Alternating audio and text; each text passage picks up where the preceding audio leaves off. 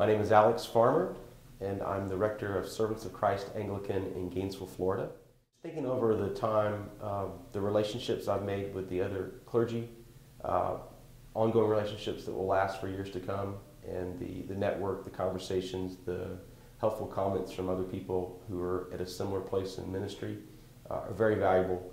Uh, the teaching, the cumulative effect of the teaching being uh, three years, so that you hear things and then you get to hear them again, and then they get reinforced again the third year It's been extremely valuable.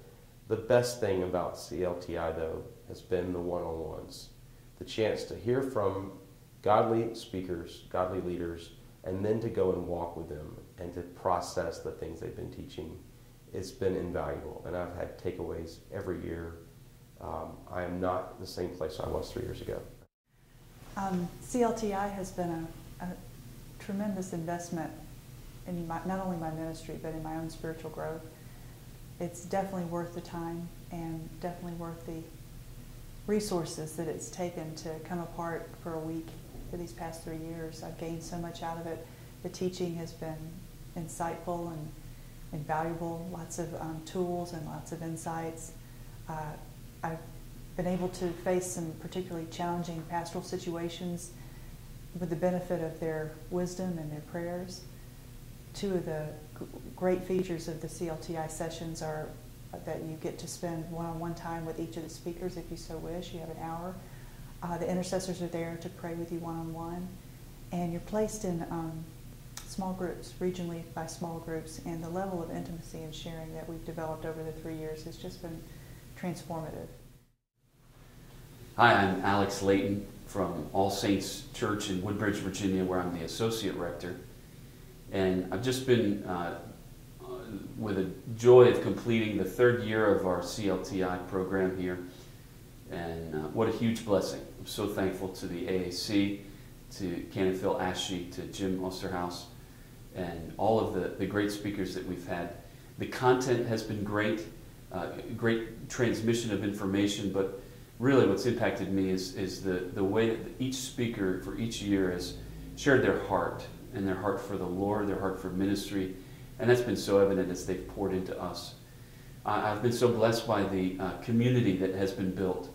I, I, do see the benefit of this, and, and I'm praying that the Lord will use this for the impact not just for us, but for future generations, that as He's multiplying us as leaders, He's multiplying through us, that many lives would be, be touched for the kingdom's sake. Hi, my name is Mark Eldridge from Christ Church Jacksonville, and I uh, really enjoyed the CLTI uh, the last three years. There was uh, so many good aspects to it. I, I, really, the main thing though, is I didn't really think that I needed that much from it. It was going to be a nice opportunity, um, but it was far better than what I expected.